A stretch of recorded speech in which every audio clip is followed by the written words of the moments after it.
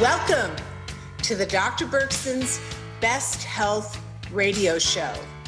This is going to be a really great show, and I have a personal, a personal connection with this show because I've been diagnosed with cancer several times. Hmm. When I was younger, I battled multiple cancers, and we have on, you might even call him a cancer whisperer, but we have on the show Dr. Robert Nagourney, and this is all about functional profiling and why you should care if you get cancer. So let me tell you a little bit about his background and why you're going to want to sit up a little bit, or if you're taking a stroll around a lake, you might want to sit down on a bench and really focus this is an important show. And don't forget, I'm talking to you from Naples. I'm not in my professional studio. I'm working here at the Naples Center for Functional Medicine, where I've just initiated a renal center. But today's topic is cancer. And we are honored to have this physician with us.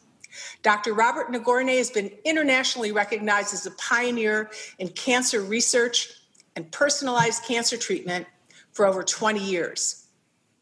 He's the founder and medical director, and we're going to really take a deep dive into what this clinic is all about the Nagourney Cancer Institute. And he's been on a clinical appointment at one of my favorite institutions. I love the research that spews out of the University of California Irvine School of Medicine. There are agile thinkers on that campus. He's a practicing oncologist and triple board certified in internal medicine, medical oncology, and hematology. And among his many accomplishments, he was a co investigator on the National Cooperative Trials, number of cancer trials. He's recognized for the introduction of some chemotherapeutic interventions, cisplatin, and I'm not even sure I'm going to pronounce the other chemotherapeutic med right. I'm going to let him do that. But two different chemotherapeutic medicines in the treatment of advanced ovarian and breast cancers. So he's got more than two decades, two decades of in depth experience in human tumor primary culture analyses. He's authored more than 100 manuscripts. I only have a few peer review articles out, and I know that each one took a few years, so that's a lot of elbow grease. He's got book chapters, abstracts, including publications in the Journal of Clinical Oncology, that's a top peer review journal, Gynecologic Oncology, another top peer review journal, and two more the Journal of the National Cancer Institute and the British Journal of Cancer. We have a major cancer expert who has a breakthrough in cancer treatment. So, welcome to the show, Dr. N. well, Dr. Berkson, thank you very much for having me. Would you please just tell us what makes your clinic and your work different than other cancer centers? Well, everyone in the cancer field is interested in what we now call personalized or individualized medicine. The idea is we don't want to generically treat people, we want a unique therapy for each individual based on their biology. The problem is the closest we get to that is genes we look at genes. Genes are given to you by your parents, and they give you kind of a blueprint of what you might do. But for anyone who's ever built a building, you'll know that you start with a great blueprint and wind up with a crummy building because the contractor doesn't do it right, he doesn't read the blueprint correctly, and he puts it in the wrong place, and you wind up with something that doesn't work. Biology is messy. And in order to figure out what the genes are telling you, you have to know how they were read out and how they were used for the final product. We're interested not in genotype, what makes your genetics, but phenotype, what you biologically are once all those genes are read and put together into a functioning person. Could so you make a little bit more of a distinction for people out there? They might not get that, but that is an important distinction, please. It's it's fundamental. It is absolutely the basic difference between us. Remember that DNA is a blueprint. It's just what you might be. It's like a idealized building. It's one of those pictures that you look at. But nobody buys a house until they take a walk through. And your body is a physical entity. We need physical biological information. So what we've developed and what we use are techniques that measure biology, not informatics, not satellite photographs of reality, but the Google map the real functioning day by day existence that we all live. Everything looks great from 300 miles above, but it's down at the nitty gritty of biological existence that we have to treat patients. And that's what we've really done. That's the breakthrough. We study biology, not theoretical science, not gene profiles, but biology, the actual occurrence. What happens when a cell is exposed to a drug or a targeted agent or a combination? What happens in real time is what we can now uniquely measure. So if a person is diagnosed with cancer and they're it's like it's like once you get that diagnosis it's like running into a brick wall and they come to see you for the first time scared to death what is it that you're going to do to begin these measurements well when you get a diagnosis of cancer people say it's like being in a bubble suddenly there are the people on the outside and you're on the inside. And nothing that they say seems to matter.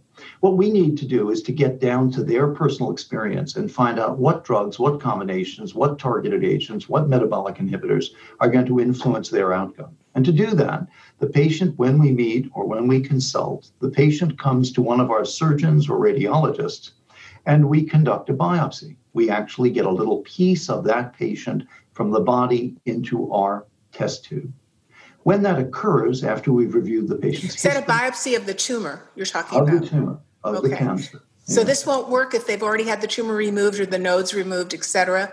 Right. Sorry about that. We work in um, biological systems and we need tumor tissue. We don't use blood unless it's leukemia where the cancer cell would be found. Otherwise, it's solid tumors. And these are used to isolate the cancer cells in what we call three dimensional organoids. Organoids are like little mi- mini organs. So we take the patient's tissue from the body with a surgical biopsy or sometimes with fluid. Patients accumulate fluid in the abdomen or the chest cavity, and we aspirate. We remove it into a bottle, and then we use uh, either enzymes or mechanical means to get the cells out into these clusters, these little groupings. And those clusters are perfect rep- representations or reproductions of the patient's tumor in the test tube. So now you've got their cancer in our test tube. And with that, with those cells sitting in media, just like they're still in the blood, just like they're still in the body, for a period of several days, the cells don't know where they are. They think they're still inside your liver or your lung.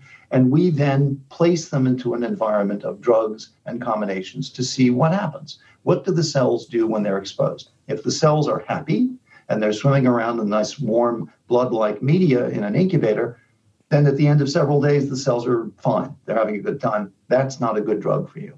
But if the cells have suffered serious injury and lethal injury, and that's called programmed cell death, one form of which is called apoptosis, if the cells have suffered programmed cell death from the treatment, then those cells will die.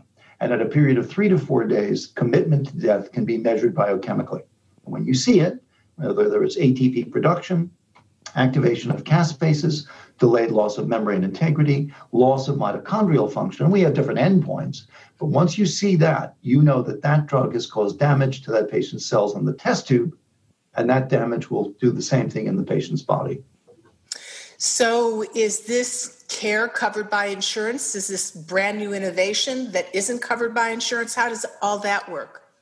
Well, some insurances cover the test, but the test itself isn't all that expensive. The drugs that we test are all covered by insurance, or mostly.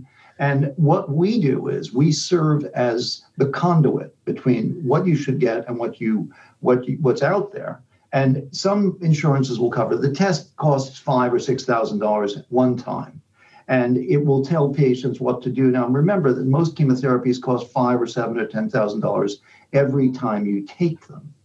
So the benefit of knowing what to take and saving that kind of money on, on drugs that don't work is enormous. Uh, you know, the average drug today approved by the FDA is over $12,000 a month. Pills. So you're finding out which personalized chemo intervention is going to really be efficacious for that tumor. So what are your success rates of your patients for a variety of tumor lines compared to other people with the standardized care where they're not doing this individualized approach? Well, we have published our results in many diseases, including breast and ovary and lung and leukemia. And we also published an analysis of over 2,500 peer reviewed published outcomes. So these are people who went into their doctors, had a biopsy, we did the study, and then we followed to see what happened. Did they do well with the drugs we recommended or not? And when we looked at the end of the study, we found that in over 2,500 patients, if you got the drugs that we recommended, you were two times, actually 2.04 fold times more likely to respond. And that's statistically significant at p.001, which means that it is highly, highly significant. And secondly, the people who got the right drugs had a 44% higher chance of being alive a year later. And that's p.02, again, statistically significant. So we've proven that if you take the right drugs, you are statistically significantly A, more likely to respond, and B, more likely to be here a year later. You know, this makes so much sense. It just makes common sense. So you wonder how come this happened with you? Why hasn't this happened before? Well, actually, um, many people have wanted to do this. It turns out that this isn't the idea of this is not new. The first paper of this type was published in 1954. And way back in 1954, there were all of five drugs available for people to take. And the doctors who were working in a field related to mine said this would work to pick drugs. And everybody said, who cares? There aren't enough drugs to use. It doesn't matter if you pick them, you can give them all. So for the next decades, everybody developed drugs. Now, during those decades, we became increasingly interested in genomics and DNA and chromosomes and all that sort of stuff. And we migrated away from a test that actually worked into tests that were driven by cell growth, proliferation, DNA synthesis. We incorporated all the new science into these techniques. Well, the trouble is, cancer as a disease isn't a growth problem. Cancer is not a disease of cells that want to grow, proliferate, make DNA. Cancer is a collection of cells that don't want to die immortal cells, right? And so when cells don't want to die, measuring what stops them from growing is irrelevant. And most of the tests that were applied over the decades since the 50s measured growth or DNA synthesis oh, or proliferation. So the tests were done in a bad way, and everyone lost interest in the field for the wrong reason. If you go back to the very beginning, if you go back to the very beginning, you will realize that the people who did it right in the beginning actually used cell death. They had never heard the term apoptosis. They knew nothing about programmed cell death. They knew nothing about what actually made our test work. But they used it by accident. They used something that worked, and all the subsequent tests that were done were done rather foolishly based on cell growth and cell proliferation. And as a result of that, those tests didn't work, and everyone walked away from the field except me and a couple of colleagues.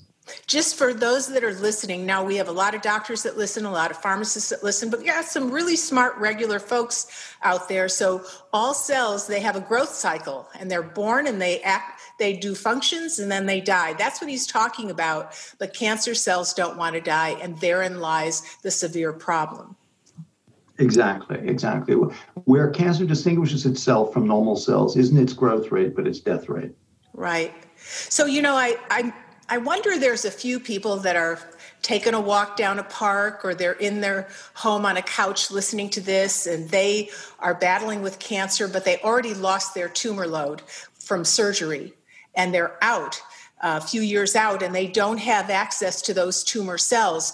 Is there any kind of immunotherapy that you can do based on their present situation or are they out of luck or how does that work?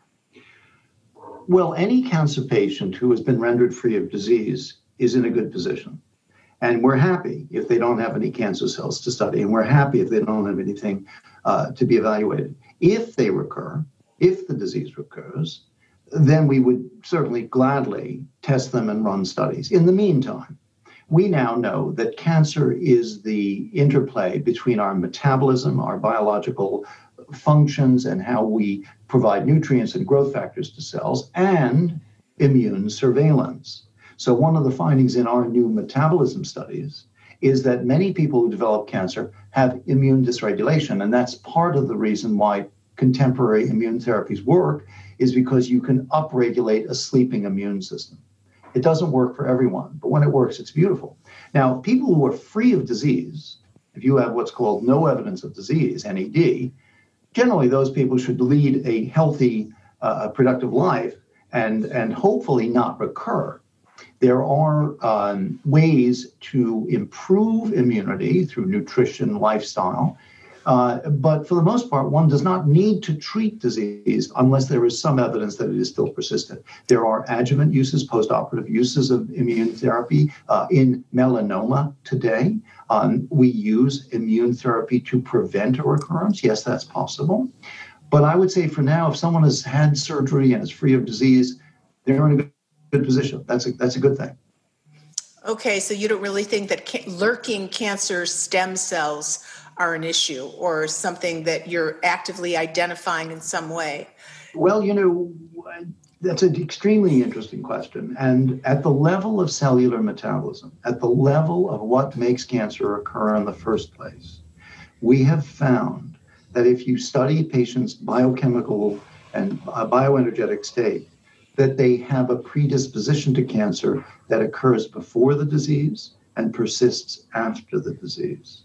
And we have written about this in a paper in Oncotarget in 2018 on manifestations of inborn errors of metabolism. Are we all suffering cancer predispositions? I wrote an editorial about it and I said, You don't get cancer, you have cancer. It's just a matter of when you find out. Oh, I want to read that paper. I want you to send me that paper. That sounds like something I'd be very interested in. Yeah, you know, sure. one of the things I'd love for you to share it, it are a few patient cases. Many people listening have gone through breast cancer and so forth, but then there's the cancers where they usually have a very short lifespan left. And we have some patients that are still living but are battling ongoing pancreatic cancer, the really nasty cancers, or glioblastoma. Could you share some of your experiences with some of these diverse cancer types? Sure, sure. We've treated just about every kind of cancer. I, I, we've done over 10,000 patients. So we've, I would say we've tested almost every cancer there is. Um, we are very interested in cancer of the pancreas. As you may be aware, this disease is skyrocketing in incidence, 55,000 plus people per year. Advanced disease with a 1% five year survival. It's a, it's a disaster. We do have some uniquely good stories in pancreatic cancer. Um, one patient that came to me many years ago had such advanced disease that I, I, I, couldn't imagine I could help him. He was on the highest doses of narcotics I've almost ever seen. I had to give him two liters of fluids IV every other day just to keep him hydrated. He couldn't eat. He went to the major centers in Southern California. There are some very famous cancer centers here, the City of Hope, USC, UCLA, and he got expert opinions. No one was wrong. It's just that everyone said, go home and, and put your affairs in order. And he came to me, and one of my colleagues in surgery biopsied the liver, massive liver uh, overtaken by tumor.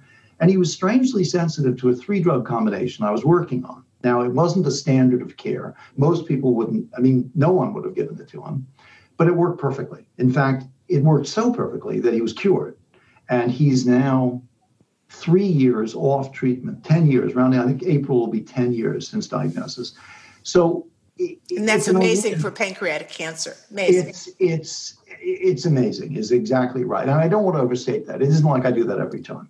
But we do get very prolonged survivals in some of our pancreas patients. We've had patients go out multiple years. I had another patient who who went out about uh, seven years. Now, unfortunately, as you said, lurking stem cells. It is possible that these people, even at the very end of their seven and ten years, they may still have a cancer cell somewhere. We don't, we don't know. But in this patient's case, after prolonged postoperative care and adjuvant and maintenance, we finally just about three years ago stopped everything. His wife, who's a nurse, was very afraid to stop at all. We had kept him on an every six week dose of relatively low chemotherapy. He never suffered toxicity, but we finally just stopped and they've never seen recurrence. So, so that's an excellent story. I have a, another very interesting and very current story, which is to me, very gratifying.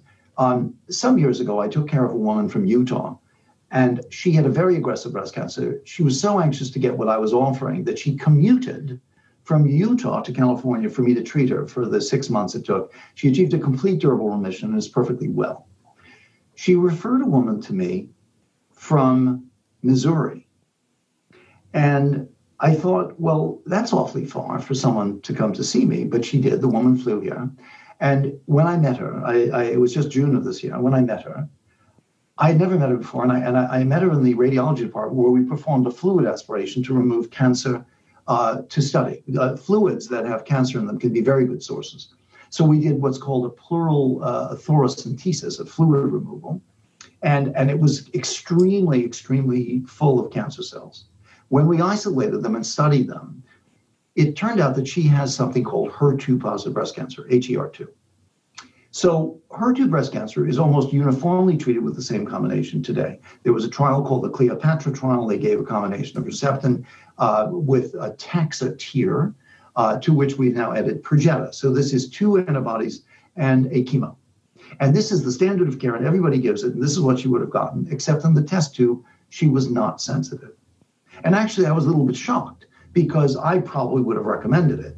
So I sat down and I looked over the results. And instead of the drug that would normally be used, a drug that I had tested and reported in 1999 at a San Antonio breast cancer meeting, turned out to be demonstrably better. So we crafted a treatment that was unique to her need and uh, treated her. Now she had a tumor. I, I describe it as a as a, a mass in the right breast that looked like an eggplant. I mean, it was a purple mass the size of an eggplant. She had pleural effusions and such extensive bony metastasis that I did MRIs to make sure she would not collapse her, her bones, the vertebrae. We started her on treatment and she remained in California to get the first and eighth day of treatment. She went back to Missouri and then came back and got her second cycle. And by the end of the second cycle, we did another PET scan. Not only was the breast demonstrably better, but the PET scan now looked much better. We finished, oh, oh after that, the doctors um, in St. Louis uh, offered to then continue my treatment. In the beginning, they said, oh, no, no, we won't give this. But once they saw how good it worked, they gave it to her and she finished her sixth cycle. And last week, she came out to see me, and a PET scan is clean. Perfect. Now, explain how PET scan is it, is it still true that it can pick up the smallest amount of a metastases of any imaging? Well, PET scan is very sensitive picks up any area of active disease and is very, very good to monitor progress because as cells die, sometimes they shrink, but they don't necessarily stop metabolic viability, PET scan picks up whether they're alive or not. Now, it's not perfect because the tumor volume has to be about a cubic centimeter or somewhere in that vicinity to be picked up. But hers was like a, she lit up like a Christmas tree the first time. So that when we got the second uh, or third PET scan that was completely clean and all of her tumor markers were normal and all of her chemistries were normal and her breast had returned to normal and there's no fluid in the lung, I'm confident that she's achieved a complete remission. Now the question is, can we keep her in complete remission. So we're going to maintain her on just antibodies, the Perjeta, Perjeta and Herceptin. And I've added to that a drug called everolimus, which is a, a metabolic inhibitor. Can you and, say and that a little little slower so everyone can understand that and explain I've it again? In, into the mix a drug called everolimus, which is sold commercially as Afinitor. And the reason we did that was because there are published data and her profile that strongly supported this rather unusual regimen. When I saw the patient most recently, I told her that she's the first person in the world to have ever received this combination. So that's real, true, personalized cancer care. Absolutely. Absolutely. So, um, how many people do you see a day and a week? What does your clinic look like? What is your day like? Kind of interested to know the day in the life of somebody who's working like you do. Well, in the past, we saw more patients in person. But as the COVID 19 has set in, we've moved more toward uh, consulting with patients uh, telephonically or by uh, Zoom video. And so we will do sometimes two or three or four consults in a day. Our intent is to identify ways to help people by conducting a biopsy. I have a patient who flew here the other day from Indianapolis, and she's, uh, I guess, just about right now getting a biopsy. She has a very large breast mass. When we find the treatment for her, we will communicate with her physicians. Uh, I think she's going to be receiving care through one of my colleagues in Chicago. So she came here specifically for us to conduct the biopsy. We like patients to come here once, if possible, if they need it. We will do the biopsies because we always get our get our tumor. We always get our man, like the Royal Canadian Mounted Police, and we always get a good as best we can. We always get the good sample. And then we send back to their doctors the treatment. For example, I mentioned the woman who went back to St. Louis. Once we had shown that this treatment was ideally effective for her, even their misgivings, because they were telling her, oh, this is a crazy idea and don't do this. Now I understand that when she's coming in to see the people at the Barnes Hospital, they bring the students in to see this example of a good outcome. So, yeah, we like to work with doctors anywhere. We want people to, we want patients to enjoy their life. I want to be the architect of their care. I don't need to be their contractor. So, what we want to do is design the treatment this is far reaching, but that colleague in Chicago isn't Keith Block, is it? Do you know it Keith? Keith Block. Oh, it's sure. Keith Block. Oh my gosh. So so when I had breast cancer many, many years ago, Keith was my very first doctor. I had a number of different doctors, but Keith and I have ended up becoming very collegial and together. And um, I was Wonderful. wondering if it was because yeah. he he initiated the chemo light where he was giving them in different dosages so that there was less hair falling out and so forth. And he's he's such a smart gentleman, and he's really smart plus heart. He's incredible, and his wife Penny is amazing. They're just I know them both well. Yeah, Keith has been a great ally. And we did not uh, know that each other had known this person. I just, for right. some reason, I, I had this intuitive little uh, feeling well, to yeah. ask you this. I, I, have another very nice story that involves Keith Block, and, and it's a similar sort of story, and, and it's also instructive uh, a very nice fellow. And there was an ABC News coverage of this patient. You can look that up. We can get you the link. But this gentleman, a very tall gentleman from Des Moines, traveled to Texas, one of the major cancer centers in the country is in Texas. Houston, so MD Anderson. MD right. Anderson, yeah. And he went to Texas, and I mean, they're very excellent, and I don't have any criticism of their, but they gave him a standard treatment, and it didn't work. So they said, okay, we're going to give you second line standard treatment. And he said, well, wait a minute. I mean, I've traveled all the way to Texas to get the world's best Wizard of Oz therapy, and and you're just giving me something out of the textbook. So he heard about us, and he flew here uh, to California. We did a biopsy. He had a lymph node up in the neck. We did a biopsy, and lo and behold, he had a very unusual pattern. He had a pattern that would be more like a lung cancer.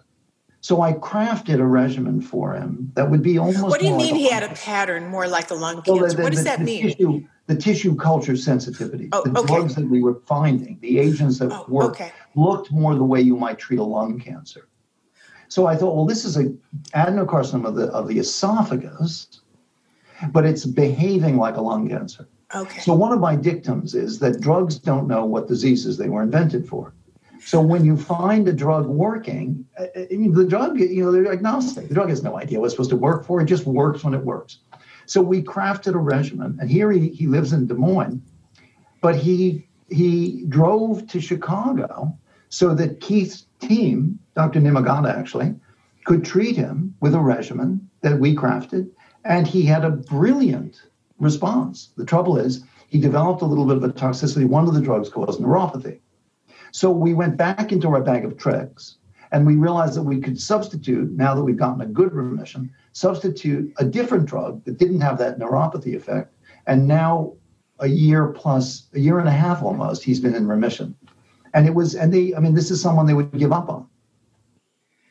I just, this is incredible. And you're hearing you're having the opportunity if you're sitting and listening to this show to hear a thinker that's changing people's lives and this really makes such sense because if you get cancer and they're throwing at you what they throw at everybody which is what i've had happen to me numerous times i'm not going to waste our time with my old stories but i've lived that. I've, i was one of the first cases of pure mucinous adenocarcinoma among the other many cancers i had because my mother was given diethylstilbestrol when she was pregnant with me and a lot of the offspring offspring have immune issues, and um, they wanted to treat me exactly the way they treat everybody else. And so that's a whole long story, but I've lived what that feels like, and many patients don't even know that's what they're getting. But for someone like you to be able to break through that concrete of paradigm thinking and initiate what makes so such total sense and now be inaugurating it and writing papers on it and having patience with it. I mean, this is the way cancer care should look from here on in. So do you have a patent on this or how is it that you, besides seeing patients, how do you monetize your hard work and your research in some way that gives back to you as you are giving to others? Well, we have to charge for our service, and we try to make it as affordable as possible. It's often out of pocket for a patient. So we don't want it to be onerous. For someone to save their life, they shouldn't have to spend an enormous amount of money. Generally, our tests do not exceed $5,000 in fees. And once you get one, it's it's good for prolonged use. So I mean, it's a one with that primary cancer. If you got a different primary cancer, then you'd have to get that again, God forbid. Recurs, yeah, if it recurs, uh, particularly if there's been a prolonged time in between or a lot of treatment in between, sometimes we have to repeat the test. Yeah, but but we we're not highly profitable, but we cover our costs for the most part. I'm a little bit I'm a medical doctor, and my my goal is to provide good outcome for patients. I mean, I, I, I think of myself as an old-fashioned doctor, and so it's very gratifying for me to see patients like this young woman with this terrible breast cancer I mean, I saved her life. There's no question. She has twins, young twins at home. If I had not stepped in, I fear she will die of this. I think now she will live, if not cured, then many, many years. So that's very gratifying. Um, in order to uh, to cover our costs, we have to charge for this. Um, I am engaged in other areas of investigation that may someday be uh, uh, more lucrative. Uh, currently, we're not we're not highly successful, but we're very successful in terms of our clinical outcomes. Do you ever test alternative interventions, you know, like mistletoe or this or that, or is it mainly chemotherapeutic pharmaceuticals? We have a dictum anything that works. And so Iscador, uh, other natural products, we've, test, uh, we've tested dozens of natural products. As you might imagine, many compounds, many substances have important medicinal properties, curcuminoids, uh, other uh, chemicals from the, from the natural environment. One of the problems for them, however, is that they're not strong, they're not highly potent. For example, curcuminoids are very interesting um, uh, from turmeric. These are these are natural products we find in, in the environment. Um, they're they're very active. Um, the uh, resveratrol. Uh, there are so many interesting compounds. Resveratrol influences histone acetylation. There are many biochemical uh, phenomena. We've tested betulinic acid. We've tested boswellic acid. We've tested millions of things, but they don't have potent toxic effects in short term. Not to say they don't have biological effects. I think to some degree, these are areas under the curve. A lifestyle that incorporates these types of substances over time is healthful. Are they meaningful therapeutics? Some of them, some of them. But many of them are just not strong enough, potent enough, direct enough to induce cell death. And after all, our laboratory is a measure of program right. cell so, death. Have you tried 2-methoxyestradiol, 2-MeO? I know it very well. Uh, that's the byproduct of, uh, of estradiol metabolism uh, uh that can be influenced by indole 3 carbinol uh, and diindolylmethane. And, and we've worked in that area and worked with uh, a colleague to develop diindolylmethane. Actually, a colleague of mine in the Czech Republic synthesized most of the diindolylmethane that is in use today. So we know that area of chemistry. Um, uh, methoxyestradiol is uh, 2-methoxy is uh, anti-vascular, and this is actually stuff that was looked at. And I think Judah, uh, some years ago, um, they were studying Rakesh Jain and the group at Dana Farber were actually studying that substance. It's, it's a very interesting compound and is the byproduct of, of certain CYP uh, uh, metabolism at the level of the metabolism. There, there are many estradiol metabolites. There's 2-hydroxy, 16-hydroxy. Right, the catechol uh, right. Yeah. So yes, I mean, a very interesting substance, and it has anti-angiogenic properties. And uh, uh, I, I, don't. We've never seen potent cytotoxic effects. I did test it years ago, but I didn't see cell killing. Not to say it's not a reasonable substance, but it doesn't have cell killing effects in short term. Interesting. So now that you deal with saving people's lives or people really striving to stay alive, how do you live your life differently from your own vocation? You mean uh, does it does it bleed into my into my emotional well being? I don't, well, I don't know. You know, you see that people um, are ill and they're fighting for their lives. So I wonder if you live a little bit differently because of what you witness every day at work and what you do. I or if you I have do. children, uh, how you guide them.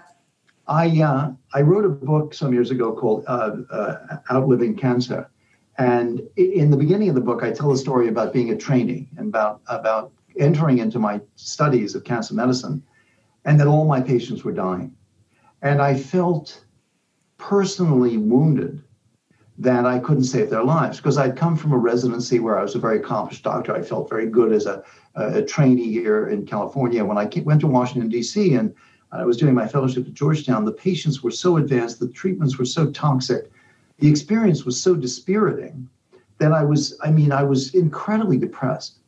And I finally had a kind of apotheosis and epiphany that I didn't cause the cancer. It wasn't like I forgot to look in the rearview mirror and ran over someone's son, or, yeah, I mean, I didn't do anything bad. They got a bad problem, and I was trying to help them. And it allowed me to go back and fight the fight because I felt that I, I was on the right side. I might lose battles, but I was on the side of good.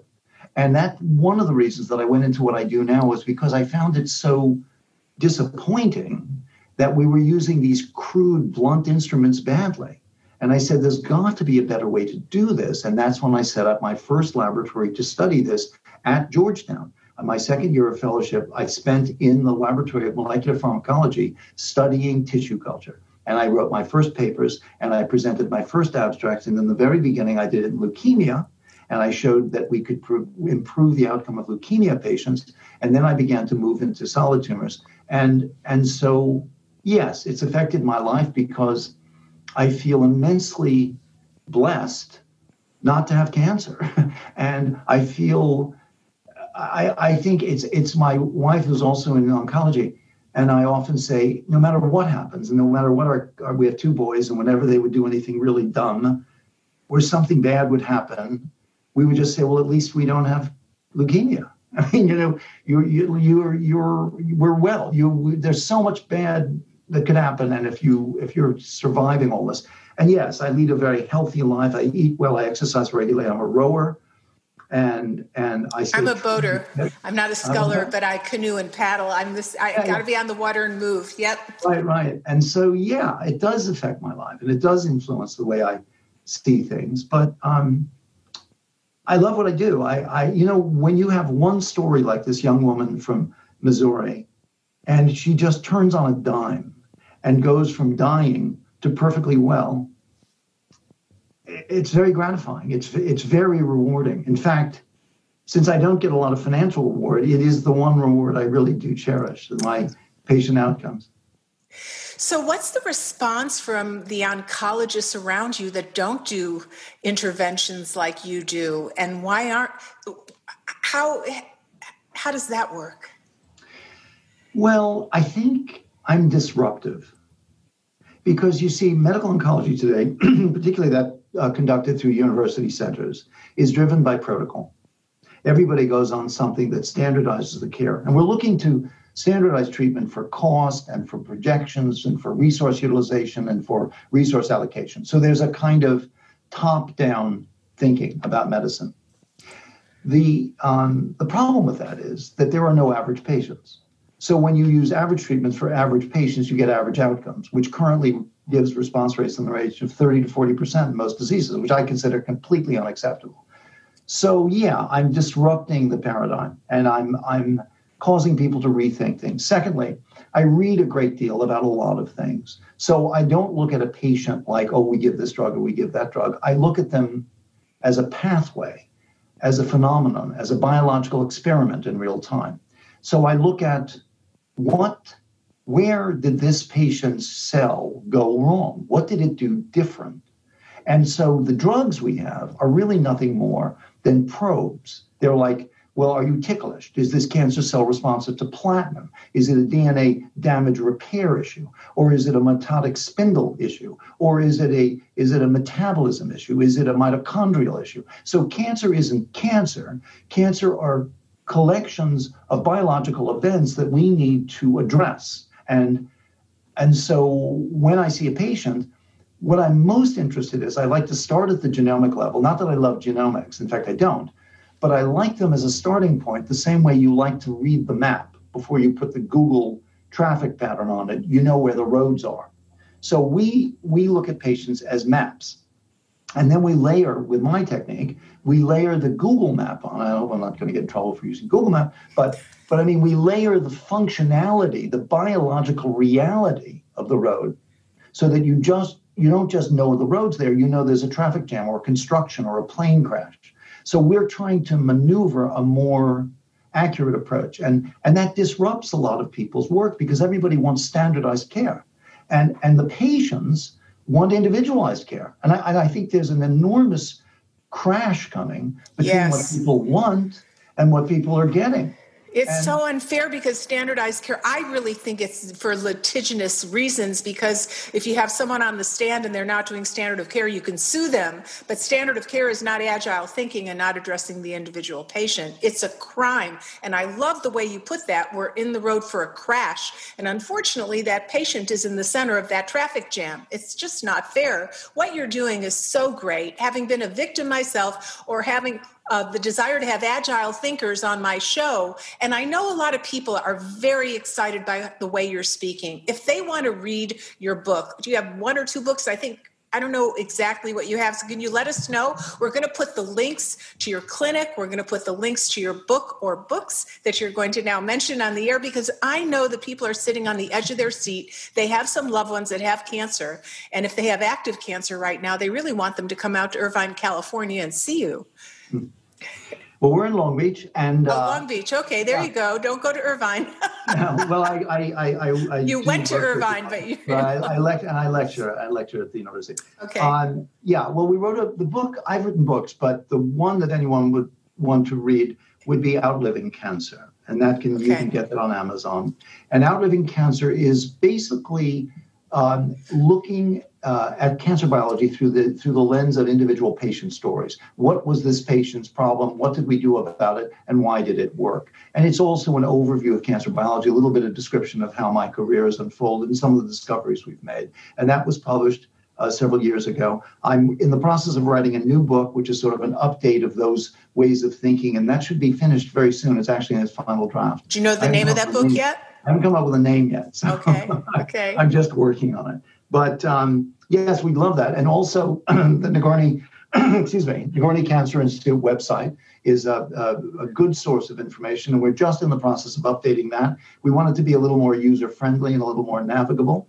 Um, and there are many um, news coverages. I wrote an editorial last year in the Wall Street Journal. It's just a one page editorial that's entitled, it's from July of 19, and it's entitled Every Cancer Patient is One in a Billion.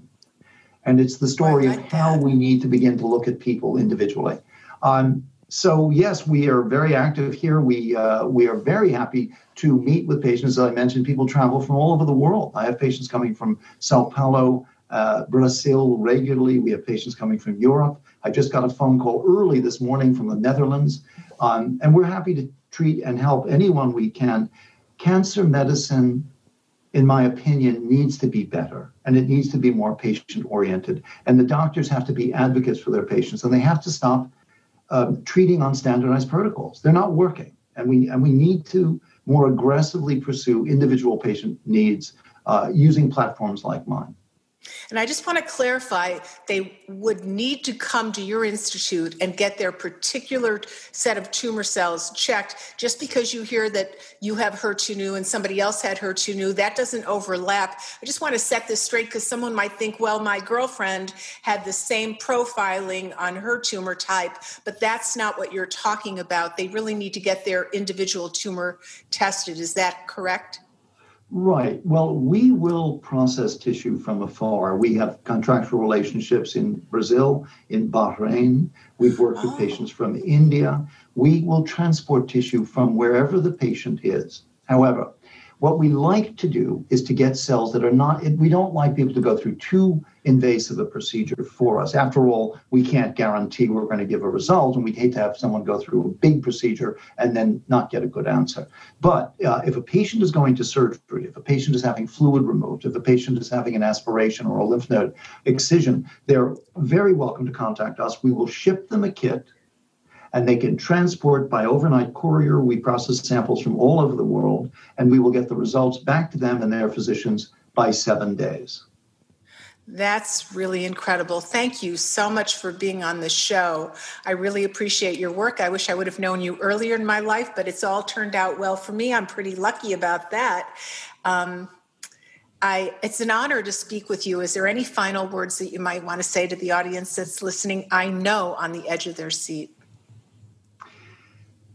Um, the only thing I can say is that when a person gets a diagnosis of cancer, it is rarely an opportunity to get an MD PhD. So they need someone to guide them with the sophistication and understanding and biological scientific uh, knowledge so that they can make smart decisions that they themselves would like made for them. It's a, it's a kind of golden rule of cancer medicine. So, from my standpoint, what I say to patients is if you can't get an MD PhD to figure your own problems out, I'll apply my scientific abilities to do my best for you. The only thing I need is a little piece of the patient's tissue to make definitive decisions. And we will do that for any patient in need. We even provide some of these services for patients who are financially strapped. Sometimes we can provide some foundation support to help them. No patient should go without the right treatment. It, it, everybody deserves the right treatment. And the closer to diagnosis, the better the chance of getting meaningful and even curative outcomes. So yeah, we say every patient should take charge of their disease and make their best decisions as soon as possible after diagnosis. And if they if they know they have cancer or if a biopsy has shown cancer and they're going to have a surgery or a biopsy or something, call us. Call us. We can test it. We'll get a sample. We'll run it, and a week later they'll know a lot more. They'll know a lot more than their doctors. This is a breath of fresh air in chaotic dissonant times, it is so refreshing to speak with a sane, smart plus heart physician.